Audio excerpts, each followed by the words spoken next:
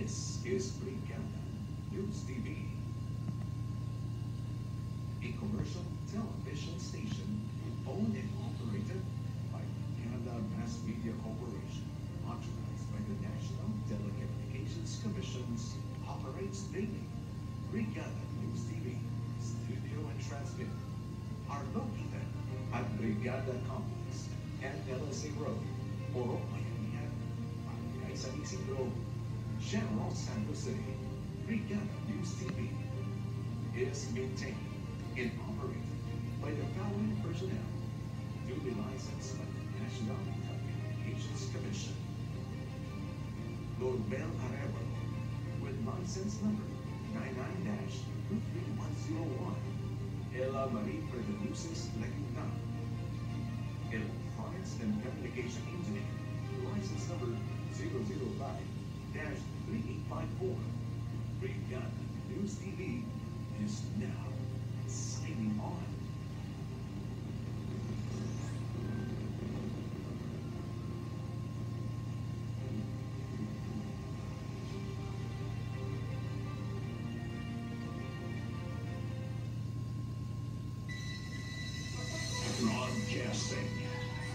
City, aiming for greatness like Singapore.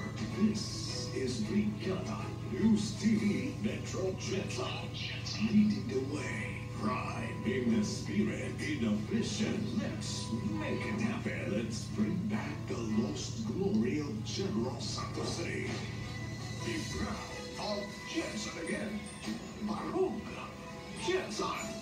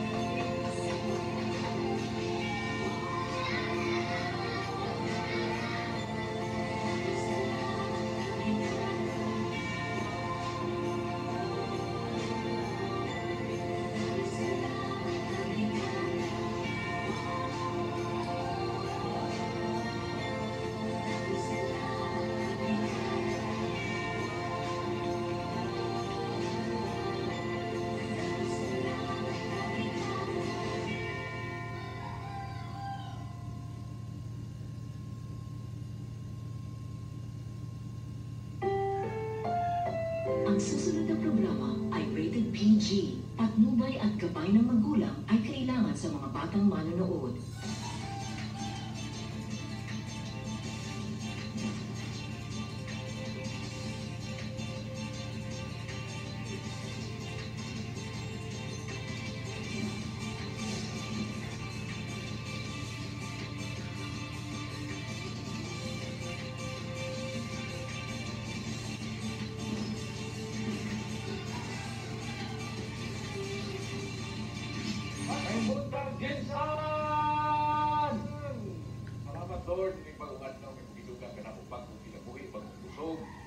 Ang adlawa, kinaglan mo tabang, panay kami sa naran mo pulahaton, na kami magpanampuson.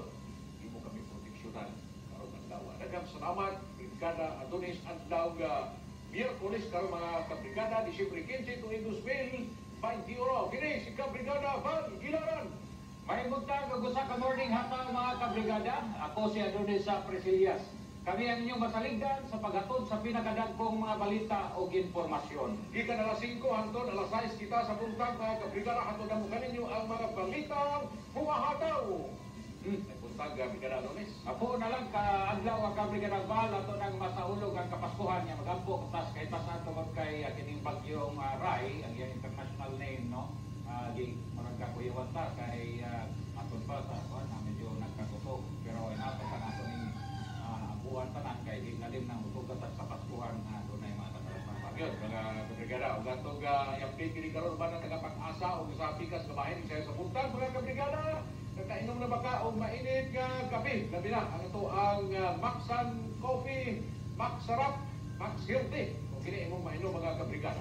Samtang ganyan na ang uh, Hakaw Balita Karampuntada. Kasadpan bahay sa Mindanao, posibleng nga mabutang sa pinakataas na warning signal tungod sa musunod nga Bagyong Rai sa Philippine Area of Responsibility karong Huwebes, Adonis, O sa bayanihan na bakuna do 2 sa Regional 12, uh, gibalhin ang schedule tungod sa bagyo. Bagong schedule ipahigayon karong Disyembre 20 hangtod Disyembre 22. nasakpan sa checkpoint sa Jensen. Ang uh, paraphernalia sa paggamit og marijuana. Na-recommend O ga karaban sa Sarangani Province sa Miarangkada na.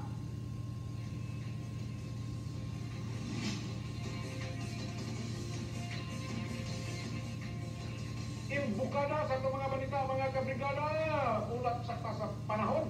Mga kabrigada, ginaandam na daan ang mga local government units sama sa Disaster Risk Reduction Management Councils sa hulga sa tropical storm nga si Udit nga ana-ana sa sulod sa Philippine Area of Responsibility nga pagpangandam sama sa posible nga rescue operation o pag-evacuate sa mga posible nga flash floods o landslides sigun sa sa pag-asa. Posible nga mabutang sa pinakataas nga warning signal ang Caraga Region o Davao Oriental tungod kang Bagyong Rai o Udit nga lokal o local name niini. Ginalaungan sad nga si Bagyong Udit mapaubos na may uh, gikosgon nga 155 kilometers per hour ugma dugang sa pag-asa kinahanglan nga alerto ang mga residente sa posibleng nga kadaot nga mahimo niini tungod sa strong winds o uh, intense rains nga dala sa bagyong Udit. Delikado ni Brigada Alunis. Mo ni nga istorya karon nga Bubatin o nga mo apot o ga 155. Ay, ko kusog-kusog na siya nga bagyo kabrigadang bali mo na nga ato panawagan kung nakakita sa live streaming no diha kapita sa Caraga Region Mm. ang pinta ang po andam kanunay sa atong uh, uh, umang adlaw. Ang atong mga flashlight dapat ato na tong i-wadaan, i-charge daan katong atong mga kagamitan mga gisunan para ani ini pero kinahanglan kita magampo kay Ah. kuyaw ni nga nga ni pandemya pa yan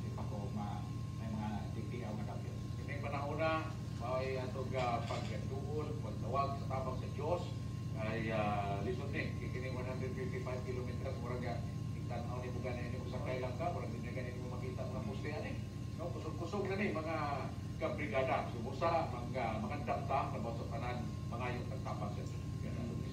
Og uh, tungod sa mosunod nga bagyo ko di sa Philippine Area of Responsibility, nakatagdag ipahigayon karong umaabot Disyembre 20. Hangtod Disyembre 22 ang part 2 sa bayanihan na bakunahan. Mao kini ang gi-announce sa Department of Health. Nasayran nga ipahigayon unta karong adlaw ang giplano nga phase 2 sa National Vaccination Days. Apan gipalhin ang schedule lakip sa region na 12 uh, postpone sa ang uh, grade day vaccination days sa ubang rehiyon sa Visayas ug Mindanao. Mao kini ang mga lugar nga gipailaw nga maigo nga apektado sa ginamonitor nga super uh, typhoon. Apan uh, mapadayon gyapon ang schedule sa Cordillera Region, NCR ug Region 1, 2, 3 o 4A.